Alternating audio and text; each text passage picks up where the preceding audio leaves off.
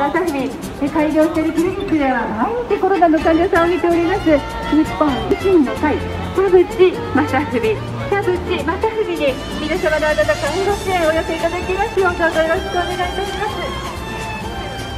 やめた方い。いここら辺から校内だよね。